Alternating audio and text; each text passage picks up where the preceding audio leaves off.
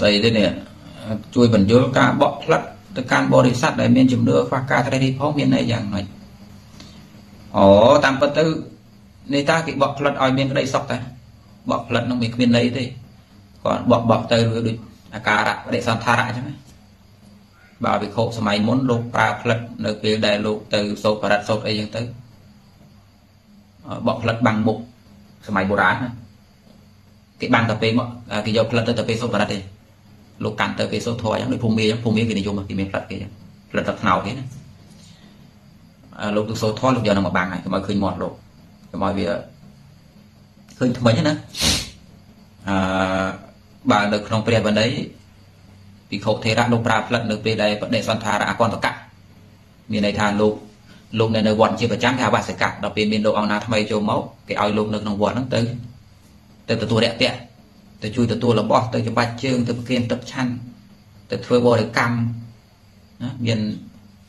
បកផ្លិតឲ្យពេលប្រធេរៈសម្ដែងធម៌មានសាមណេរមួយទៅគួយបកផ្លិតពេលប្រធេរៈសម្ដែងធម៌មានអនុធេរៈមួយទៅគួយបកផ្លិតឬក៏កុហក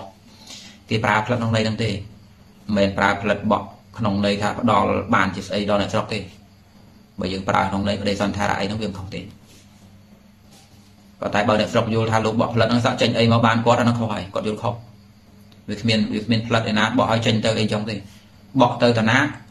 តនឹងខ្លាយជាឆ្នាំបក់ទៅតាណាតនឹងខ្លាយជាមុនមែនទេធေါ်ភូតនឹងធေါ်ផ្សំគុំហើយចិត្តភូតនេះតតក្នុងធម្មជាតិហ្នឹងវាអត់មានអត្តពលមួយចេញពីផ្លិតទៅអញ្ចឹងទេមិនមែនជាដំណើរពិតទេអាត្មាឆែកមើលសំណួរណាតំណងឆ្លើយតិចតំណងថាមិនតំណងឆ្លើយកូនចាស់បើយើងសមាទានសិល5តើសិល5តែតែថ្ងៃមួយបានអត់ចំពោះមិនចេះ បើយើងសមាទានសិល5តែថ្ងៃសិល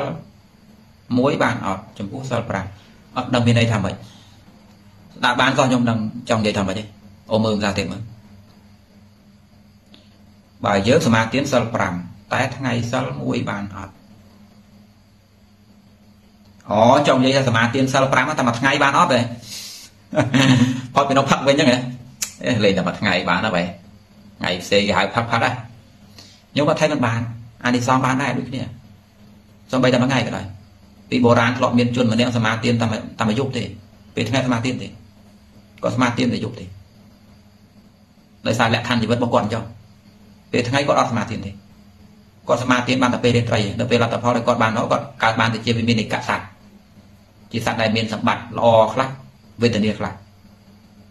និយាយដូចយើងដុតពោតឆៅអញ្ចឹងណាចិនមួយខាងឆៅមួយខាងអញ្ចឹង បានថាសមាទានបើបានមួយថ្ងៃពេញល្អទោះបីថាញោមបានគ្រប់រាល់ថ្ងៃក៏ដោយឲ្យថាមួយថ្ងៃនោះពិតជាពេញក៏ល្អដែរវាជាជាងតែអត់ដែរមែនវាថាមនុស្សតែងមួយទឹកអញ្ចឹងបើខ្ញុំមួយទឹកថ្ងៃហ្នឹងបានអត់បើមិនតែងមួយទឹកផងអាមិនដែរគាត់បានទេថាញោមតែមួយថ្ងៃក៏បានដែរអាត្មាមិនមិនរញញោមធ្វើយ៉ាងទេតែចង់និយាយថាបើញោមពិតជាធ្វើញោមបានក៏បានដែរអត់អីទេថ្ងៃក្រោយលប់ថែម2ថ្ងៃណាតែហ៊ានមួយថ្ងៃថ្ងៃក្រោយ2ថ្ងៃហើយផ្ដើមចេញពីតិចទៅច្រើនលើកទឹកចិត្តឲ្យធ្វើ ថ្ងៃសិលក៏បានដែរថ្ងៃនេះគេសិល8ជុំអញសិល5សមាធិសិល5ថ្ងៃខ្ញុំកើតទេថ្ងៃហ្នឹងអត់សម្រាប់សັບទេអត់ផឹកស្រាយទេតថ្ងៃនេះជាថ្ងៃសិលអញសិល5ក៏បានដែរខ្ញុំល្អតាថ្ងៃក្រោយដាក់ទាំងអស់សិល5មកជីវិតដែរបានតែខ្ញុំអត់អត់អត់មានខ້ອຍទេបានអានិសង្សដូចគ្នាជាផលកសលដូចគ្នាផុតពីថ្ងៃសិល5ផឹកត្រាវិញណាមានថ្ងៃសិលទេដែលគូកតអត់ប្រមូល ក្រុមហ៊ុនគេមិនតម្រូវដល់ពេលយើងធ្វើការក្រុមហ៊ុនផុតទៅពីថ្ងៃនោះត្រូវប្រើភ្ញៀវណាការងារហាងបាយការងារនាំភ្ញៀវទេសចរដើរលេងការងារក្រុមហ៊ុនបៀស្រាយអញ្ចឹងបើយើងផឹកលក់ឲ្យគេមិនកើតអញ្ចឹងផឹកដែរប៉ុន្តែមានថ្ងៃមួយដែលគេមិនទៀមទាទេថ្ងៃនោះយើងទៅនេះថ្ងៃសិលនោះក៏បានមានអីផ្ដើមចេញពីតិចជាជាងអត់ តើគួរធ្វើបែបណាកុំឲ្យវឹកវរជំនឿនៃគុណរៀនសូត្រខ្ញុំមានតែការរៀនសូត្រមួយទេការរៀនសូត្រធ្វើបើវាមិនបានជួយអ្វីយើងគ្រប់យ៉ាងក៏ដោយឧទាហរណ៍ការរៀនបរិយ័តមនុស្សពួកខ្លះតែនិយាយថាបើយើងរៀនបរិយ័តរៀនតែបរិយ័តហ្នឹងមានអស់កិលេសតណ្ហាទៅណាវាចំមែនទទួលស្គាល់ការរៀនបរិយ័តច្រើននោះវាមិនមែនបានន័យថាយើងទៅហោះហើរយើងទៅអស់មិនទិលសៅមងទៅណាទេប៉ុន្តែមិនមែនថាអត់អានិសងទេវាធ្វើឲ្យគូក្បាលយើងភ្លឺស្វាងស្គាល់ហេតុស្គាល់ផលដឹងគួរមិនគួរពិតប្រាកដហើយណាក៏ដឹងថាកលនេះជាអន្ទាក់ដែរ វាជាជាងយើងនឹងងើលងឹតបរិយ័តក៏អត់បដិបត្តិក៏អត់ចេះតែពោលរៀនស្អីនាំធ្ងន់ខ្លាចធ្ងន់រឿងរៀនតែខ្លាចធ្ងន់គេបោកទេអាគេបោកនោះបើវាធ្ងន់ដល់ពេលរៀនសូត្រ lại ក្នុងគ្រួមានតែការរៀនសូត្រទេខ្ញុំទស្សនៈប្រទេសណាក៏គេនិយាយចឹងប្រទេសណាក៏អាចរងរឿងបានតាមរយៈការរៀនដែរប៉ុន្តែវាមិនមែនរៀនតែពុទ្ធសាសនាមួយទេខ្ញុំនៅក្នុងសង្គមខ្ញុំរៀននយោបាយសង្គមរៀនស្អីដែលជារបស់សង្គមនៅក្នុងធម៌ក្នុងអាងក្នុងលទ្ធិទស្សនៈក៏ខ្ញុំត្រូវតែរៀននេះដែរ មនុស្សដែលវឹកវរវាច្រើនមនុស្សដែលមិនយល់មនុស្សដែលយល់វាមានការវឹកវរដែរប៉ុន្តែវឹកវរក្នុងរឿងដែលគួរវឹកវរវឹកវរនៅក្នុងរូបភាពមួយមានកម្រិតតូចវឹកវរនៅក្នុងកលៈទេសៈមួយប៉ុណ្ណោះឧទាហរណ៍បើប្រទេសមានទាំងក្រៀមហើយអ្នកចេះឬមិនចេះត្រូវតែវឹកវរហើយត្រូវតែងើបធ្វើក្រៀមត្រូវតែផ្អើលស្រុកហើយប៉ុន្តែចំពោះរឿងបានការអ្នកយល់ដឹងមានការវឹកវរទេផ្អើលទេអត់ទេដូច្នេះត្រូវឃើញតម្លៃនៃការរៀនសូត្រដើម្បីកុំឲ្យវឹកវរមានតែការរៀនសូត្រទេ លបងកណាកាន់សិល5តែកណាហូបស្រាតិចអញ្ចឹងបាបអត់ញោមផាន់ឌីអ្នករសាសិល5បើគេបដោតទៅលើសិក្ខាបទណាទោះបីតែគេហូបស្រាតែមួយតំណក់ក៏ខុសដែររាប់ថាខុសបើនិយាយពីវិន័យបើនិយាយពីសិក្ខាបទទោះបីតែស្រាបន្តិចក៏ដោយមួយជើងធុកក៏ដោយឲ្យតែមានជាតិស្វឹងមានជាតិស្រាពិតប្រកបគឺខុស ប៉ុន្តែបើនិយាយអំពីសុចរិតវិញណាញោមវាមិនមែនបែរថាអ្នកផឹកស្រាហ្នឹងជាសុចជាទុច្ចរិតទេបើនិយាយពីសុចរិតទុច្ចរិតមិនមែនថាការផឹកស្រាសត្វតែទុច្ចរិតទេមនុស្សផឹកស្រាក៏នៅមានសិលធម៌ដែរប្រសិនបើការផឹករបស់ពួកគេនៅក្នុងកម្រិតមួយដែលមិនឲ្យមោហៈកើតឡើងដូចបរទេសដែលគេផលិតស្រាយើងគេផឹកបែបណារាងកាយរបស់គេធំធំដល់ពេលគេផឹកតាមមួយកំប៉ុងឬមួយកែវយូរយូរម្ដងទៀតផងទោះបីថាផឹករងថ្ងៃក៏ផឹកក្នុងកម្រិតប៉ុណ្ណោះ តើជាតិស្រានោះអាចទៅបំផ្លាញរាងកាយគេរហូតដល់ធ្វើឲ្យចង្វាក់បេះដូងលុតខុសប្រក្រតីជាបច្ច័យធ្វើឲ្យមោហៈកើតឡើងរហូតដល់កើតរាគៈតម្រៃទោសៈគុំក្រុងនេះបានទេអត់ទេផឹកហើយដូចអត់ស្វឹងអីចឹងគោះក្បាលគេនៅល្អទាំងអស់ព្រោះហេតុអីព្រោះអត្តពលស្រាវិតិចញោមអ្នកផឹកស្រាប្រភេទនោះតើចោតពួកគេថាទៅជាអសលធម៌កើតទេតើពួកគេមាននិស្ស័យអត់មានវិនិច្ឆ័យព្រោះខួខូចទេអត់ទេវិនិច្ឆ័យព្រោះកលេសតណ្ហាកើតក៏អត់ដែរ វិនិច្ឆ័យព្រោះបកអន្តរាយសង្គមទេអត់ទេវិនិច្ឆ័យព្រោះអត់ទទួលខុសត្រូវគ្រួសាររត់ទេអត់ទេឃើញទេតែគេផឹកស្រាដែរណាហើយគេផលិតស្រាយើងបានលក់ផងគេមានប្រាជ្ញាអាចផលិតស្រាយើងបានលក់ផងបានទិញផងប្រសិនបើញោមសួរហ្នឹងញោមពិតជាហូបស្រាហ្នឹងបន្តិចមែនទេញោមថាអើញោមកណាដូចមនុស្សនៅកន្លោះអីចឹងប៉ុន្តែស្រានៅផឹកដែរតិចតិចចឹងមិនដែលស្វឹងតែអីទេតិចតួចតិចតួចចឹងញោមសិក្ខាបទ5មកដាច់បាត់ហើយ ឲ្យឈ្មោះថាញោមតាំងនៅសិក្ខាបទ5គឺមានទេដាច់មួយបាត់ហើយ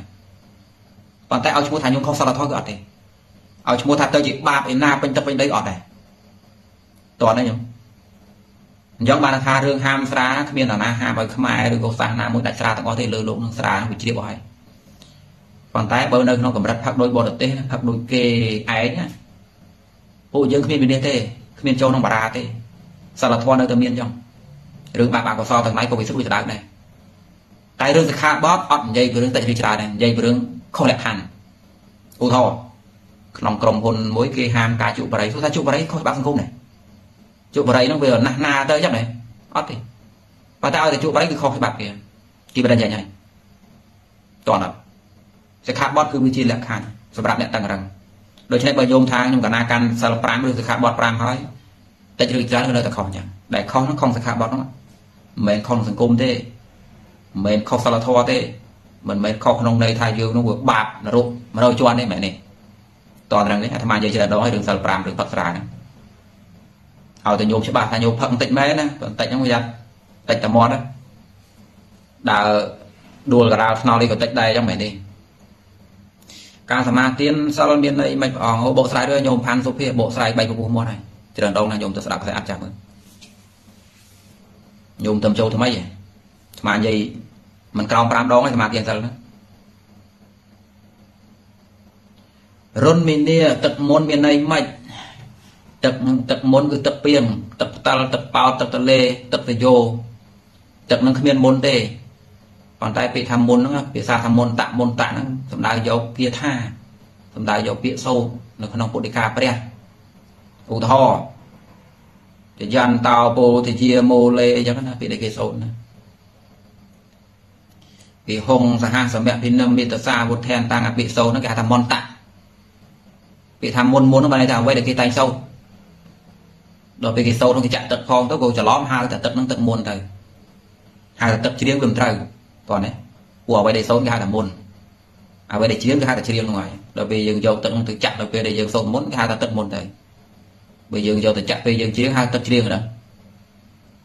មិនមែនទឹកហ្នឹងមានអត្ត អត្តពលមុនអីទេមិនមែនមុនក្នុងន័យថាទឹកហ្នឹងម៉ានមានស្អីហែលវិញហ្នឹងបល័យហ្នឹងដាក់ទៅជ្រាបពេញទឹកដូចខ្សែភ្លើងឆក់ទឹកអញ្ចឹងណាទឹកហ្នឹងទឹកថ្នាំដំបងទឹកពីងទេគ្រាន់លោកនឹងសោតទៅទឹកហ្នឹងចេញថ្នាំរយជាបាលកាពះពវៀនរោគគាអាណាចង្រៃគូទឹកហ្នឹងជិះអូគូទឹកហ្នឹងទឹកមុនមែនទេទឹកមុនទឹកពីងតែមួយទេខ្ញុំទៅងូតមើលដូចគ្នាទេងូតផ្ទះហ្មងទៅបើថាឲ្យលោកសើអីក៏ស្រោចទៅប៉ុន្តែអ្វីដែលពិសេសគ្នាទេ ទឹកមុនមានន័យថាមកពីទឹកហ្នឹងគេយកទៅស្រោចពេលគេសោតមុនហើយមុនហ្នឹងស្អីគេមុនហ្នឹងមិនរិទ្ធទេមុនហ្នឹងគឺគាថាពុទ្ធិកាព្រះគេហៅថាមុនតមុនតណាឬគេហៅថាបរិត្តបរិត្តមុនតប៉ុណ្ណឹងទៅចោះខ្ញុំដូចជាឆ្លើយដល់កើតហើយដែលមានកម្លាំងឆ្លើយប៉ុណ្ណឹងសិនចាំលើក្រោយទៀត